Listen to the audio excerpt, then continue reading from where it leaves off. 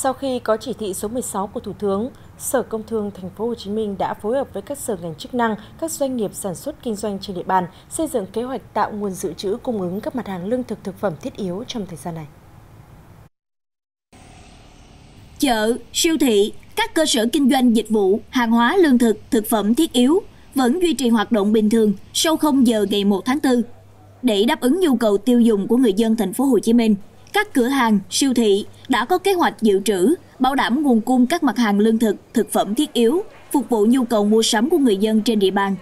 Đồng thời khuyến cáo người dân không nên mua tích trữ lương thực thực phẩm và nhu yếu phẩm, đề nghị người dân hạn chế đến các điểm bán tập trung để giảm rủi ro lây nhiễm chéo, theo tinh thần của Bộ Y tế, bảo đảm khoảng cách tối thiểu 2 mét giữa hai người.